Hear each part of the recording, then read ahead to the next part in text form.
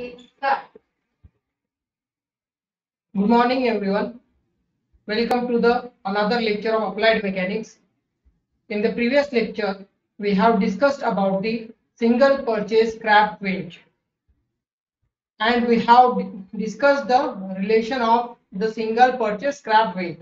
Means we have seen the derivation of single purchase crab winch and we have find out one relation that is the velocity ratio right. So now in today's lecture we are going to discuss about the problems based on the single purchase crab winch so by using the uh, using the equation of single purchase crab winch we have to solve the problems based on it. So now let's go to the our problem. Problem number 8 what our problem said was you can see here our problem that is in a single purchase crab winch the number of teeth on pinion is 25 and that on the spur wheel 100 radii of the drum and handle are 50 mm and 300 mm respectively. Full stop. Find the efficiency of the machine and the effect of friction. If an effort of 20 Newton can lift a load of 300 Newton. Now, once we have read the problem, we have to find out the given data. So here you have to write the given data first. So what is given data? So from this uh, problem, we can find out the given data. Now read the problem carefully in a single purchase crab winch means we have to use the formula related to the single purchase crab winch the number of teeth on pinion. So we have given the number of teeth pinion and that on the spur wheel so here the number of teeth on pinion that is T2 is equal to 25. And second term we have given that is the number of teeth on on spur wheel. Spur wheel that is T1 is equal to how much? 100 so here these two terms are given after that the radii of drum and handle are so here we have given the radius. So you can write radius of drum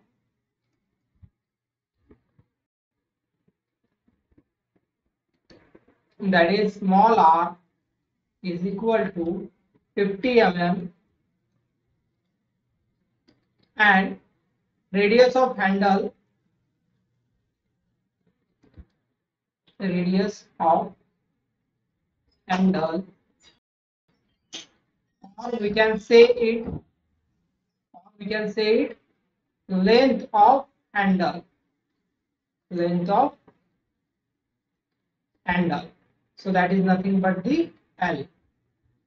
Is equal to 300 mm okay you can see here 300 mm then what it said, find the efficiency of the machine and the effect of friction. If the effort of 20 Newton can lift by load 300 Newton. So here we have given the effort. Effort is nothing but the P. Effort P is equal to 20 Newton and load lifted and load lifted W that is nothing but 300 Newton. After that what it said we have to find out the efficiency and efficiency of the machine and effect of friction. So here efficiency of machine is how much and effect of friction. So effect of friction means we have to find out the effort required due to the lost effort required in a friction. So we have to find out F effort in friction and also we have to find out load load lost in a friction. So effort lost in a friction and load lost in a friction. So here F load we have to uh, we have to also find out. So these three terms we have to find out efficiency, effort lost in friction and load lost in friction. So let's see. now what we can do here, you can see first thing here you have to find out the efficiency of the machine. Efficiency of the machine. So for efficiency of machine, we can use the formula like efficiency is equal to mechanical advantage divided by velocity ratio into 100, right? So here mechanical advantage, we don't know the value of mechanical advantage and we don't know the value of velocity ratio. Then we cannot get the value of efficiency. So for that, we have to, we know what we know we know the mechanical advantage is equal to W upon P. So value of W is what? How much value of W? So W we have given here. You can see 300 Newton and P is a 20 Newton. So you can write here W is nothing but the 300 Newton divided by 20 Newton. So here 0 0 will get cancelled. It will be the 15. Right. So mechanical advantage is a 15. So once you get the mechanical advantage, after that we have to find out the velocity ratio, right? So for velocity ratio, what we can do? So now we know the velocity ratio of single purchase. Then we can write, we know that the velocity ratio the ratio of single purchase crab winch. So for this, we know the equation we have recently in previous lecture we have seen the of single purchase winch that is nothing but VR is equal to L upon R into T1 upon T2. So this is the equation for the velocity ratio. Now you can see here, we know the value of L, we know the value of R, we know the value of T1 and we know the value of T2. So now put all this value in this equation and find out the value of velocity ratio. So here velocity ratio is equal to the value of L is nothing but the 300 and value of r is a 50 so here you can write 300 divided by 50 into the value of t1 is nothing but the you can see here value of t1 is 100 and value of t2 is 25 so you can take that value. T1 is a 100 and t2 is a 25 now do the calculation in your calci and find out the velocity ratio. So now here you can see 25 fours and 0 0 will get cancelled 5 6 30 right 60 so here the value of velocity ratio is nothing but the how much it is a 24 24 6 multiplied by 4 that is 24. So velocity ratio is 24. Now we get the value of mechanical advantage that is 15. We get the value of velocity ratio. Now we can easily find out the efficiency. So here efficiency is nothing but the then we know that we know that what we know efficiency is equal to mechanical advantage divided by velocity ratio into 100 now put the value of mechanical advantage that is nothing but the 15 velocity ratio 24 multiplied by 100 now do the all this calculation in your calc. You will get the value that is nothing but efficiency is equal to 62.5 percent. Okay. So once you have find out the value of the efficiency that is nothing but 62.5 percent 62.5 percent. So after that what you have to do? Now here what we are what problem asks us? First thing efficiency. We have find out the efficiency. Now we have to find out the effort lost in friction and load lost in friction. So for that you can say the second term that is the effect of effect of what? Friction. Effect of friction. Now we know that you can write here we know that the effect of friction in terms of in terms of load that is nothing but the F load that is friction loss in load is equal to P into VR minus W. So we have seen this equation previously. So now you can take the all given values here and you will get the value of friction lost in a load. So here the value of P is the 20 multiplied by velocity ratio is the 24 and W is nothing but the 300 right. So after that what you have to do you have to do the calculation of this that is nothing but the F load is nothing but how much 180 Newton very good. So this is your answer. Okay. So now you can write here we have find out the effort uh, load lost in a friction. Now we have to find out the effort lost in a friction that is F effort. So this is the another unknown term. For this what we can say we can do here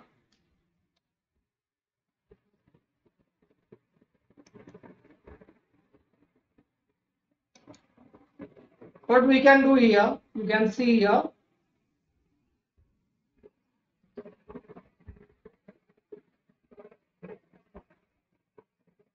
Just wait a minute.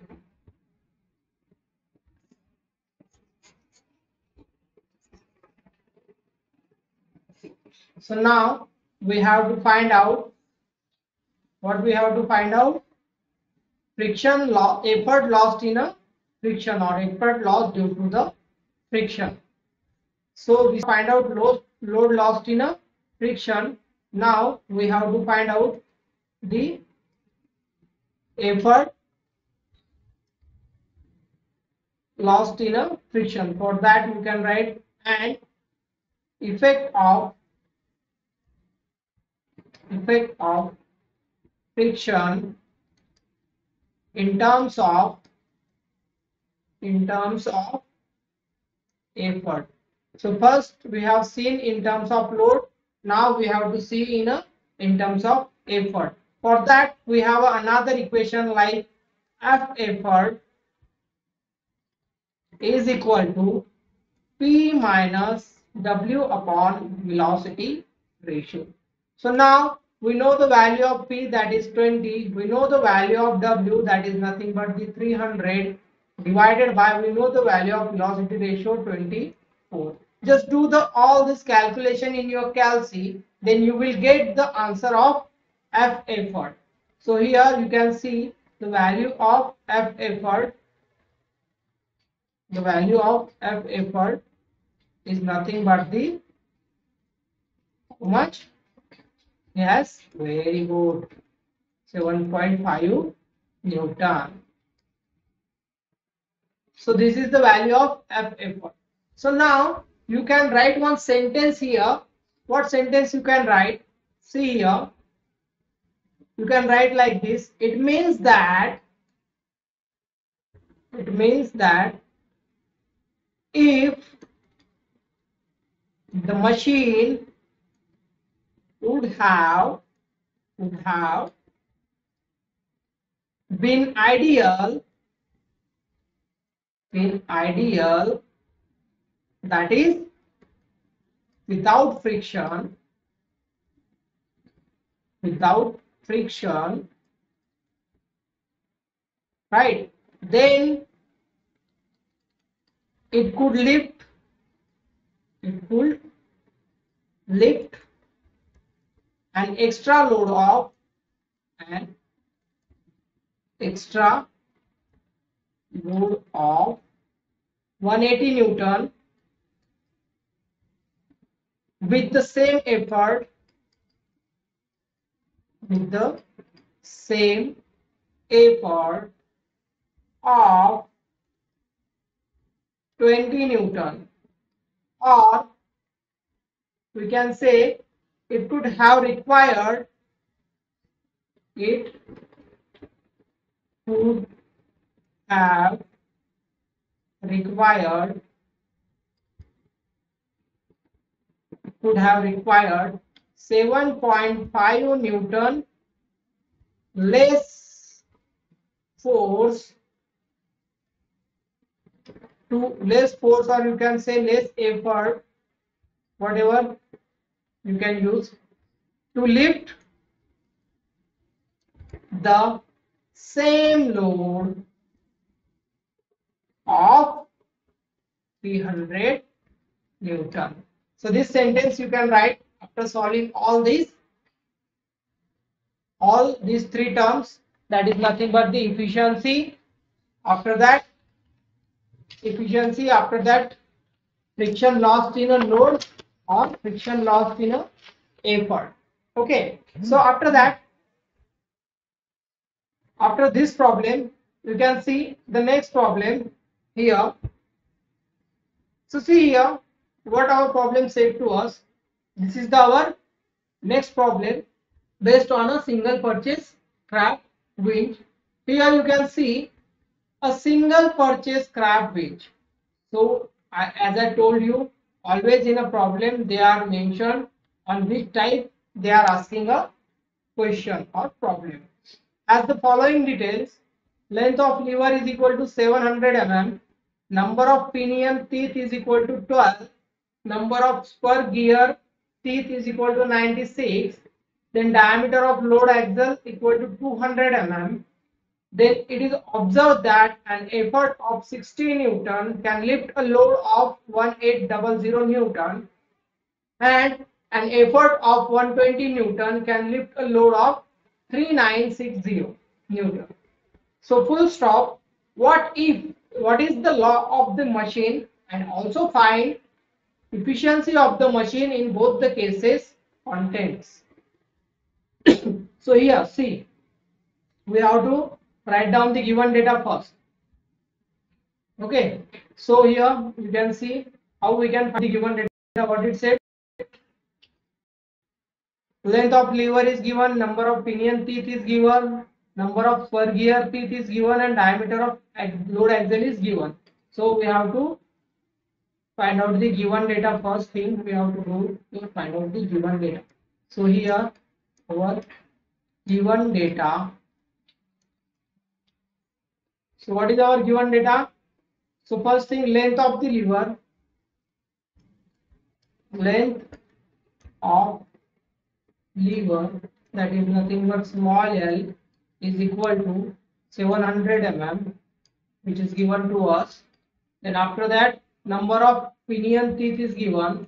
So number of pinion teeth is given to us that is T2 is equal to 12. After that, number of spur gear teeth, number of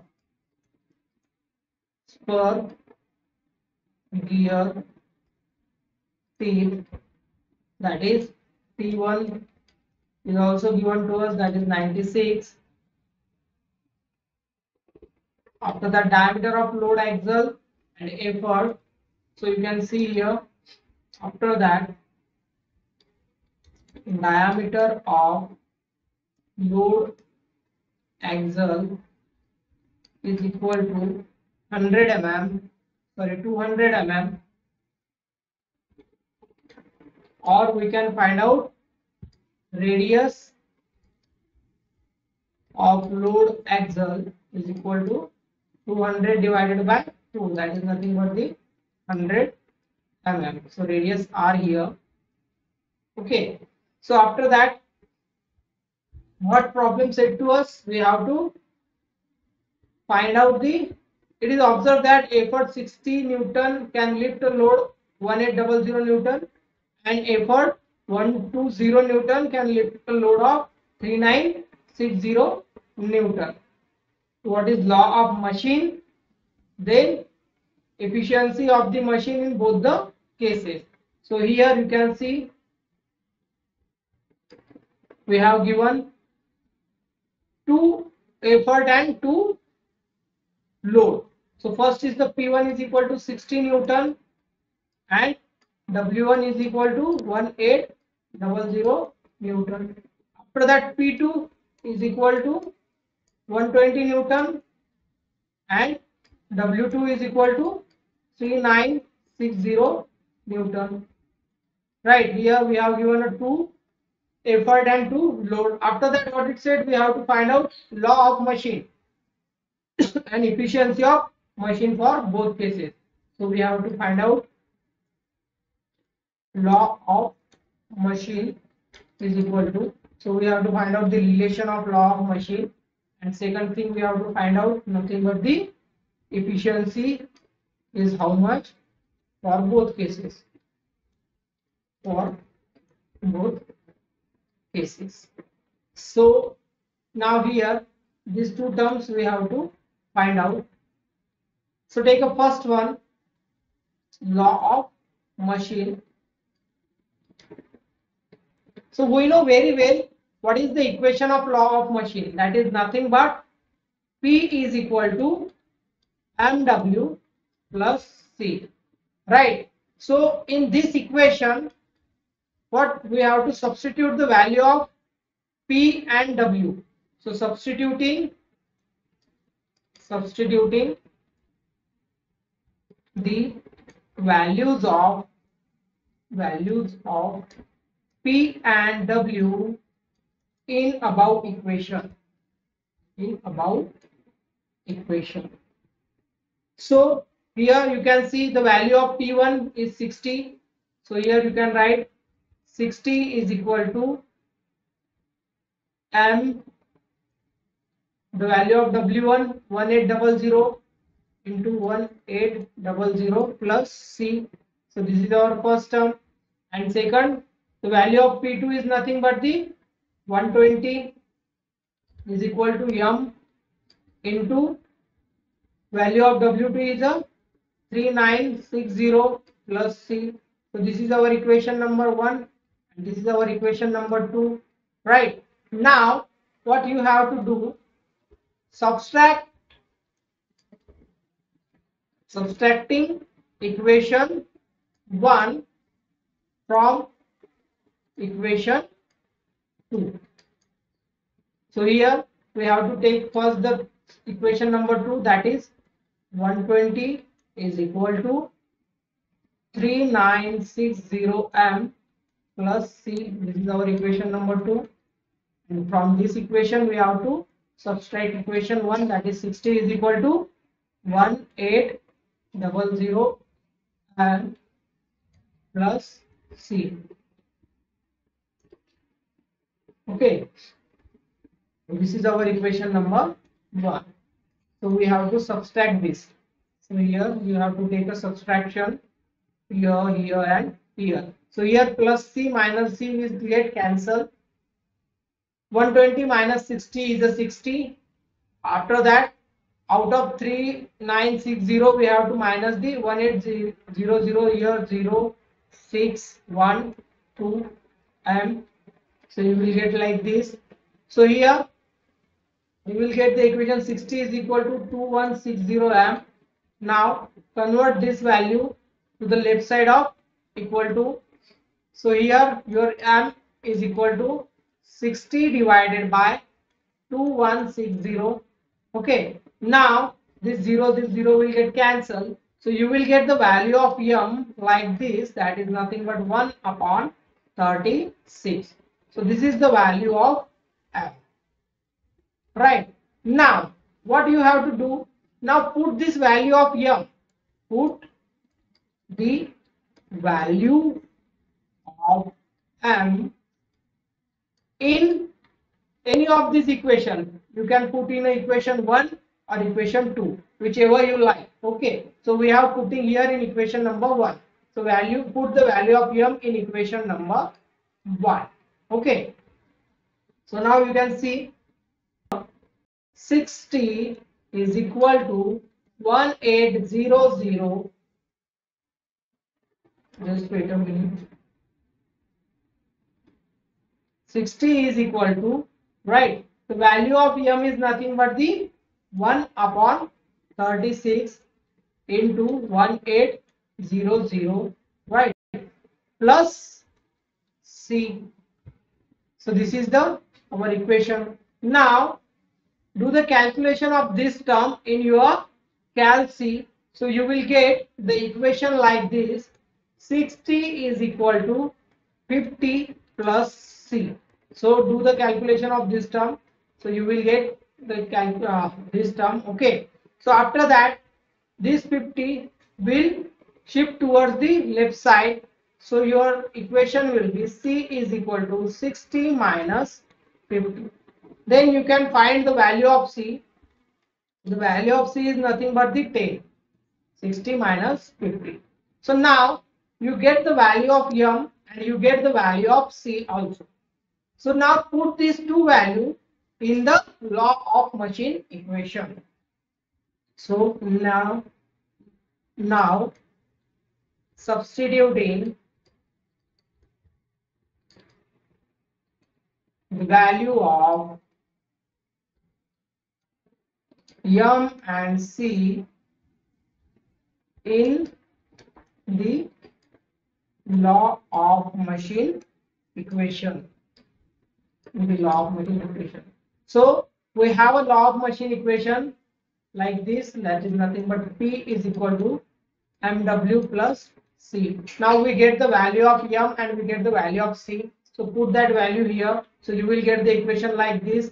P is equal to 1 by 36 W plus 10.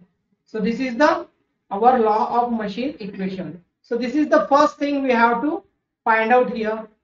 Okay we have find out this first thing. Now we have to find out the second thing that is nothing but the efficiency of the machine in both cases. So second what second? Efficiency of the machine in both the cases. In both the cases right. So for find out the efficiency we have to find out.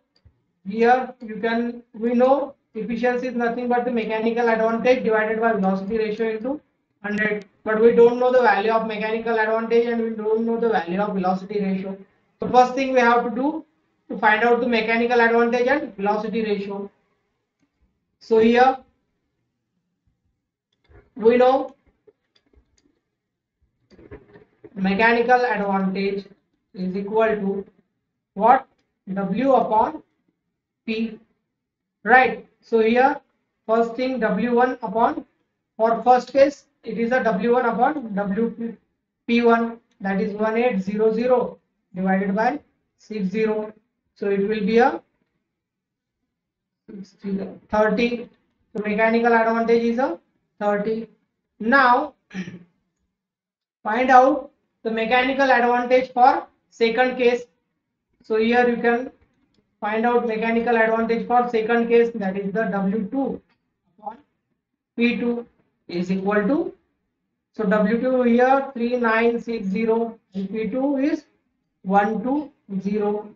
So here do this calculation in your calc So mechanical advantage for second case is the 33. Right. Now we have to find out the velocity ratio. So we know we know velocity ratio is equal to L upon R into T1 upon T2. So put the value of all these terms. So here L is nothing but the 700, R is nothing but 100 and T1 is nothing but 96 and T2 is nothing but the 12. Now do the all these terms calculation. You will get the velocity ratio is equal to 56 right? So once we get the value of velocity ratio and mechanical advantage for case 1 and for case 2 we have to use the formula of efficiency is equal to for first term for first case efficiency 1 that is nothing but mechanical advantage upon velocity ratio into 100 so put the value of mechanical advantage for first case that is 30 divided by 56 into 100 do the calculation of it and you will get the efficiency for first case that is nothing but 53.6 percent. Okay.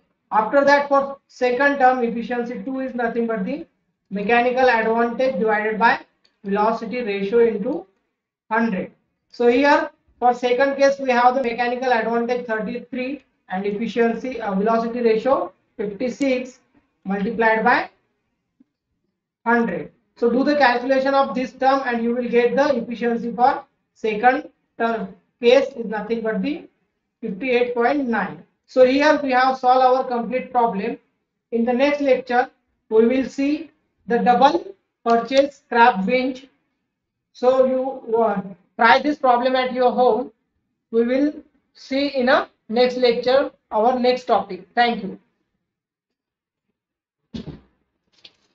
Okay.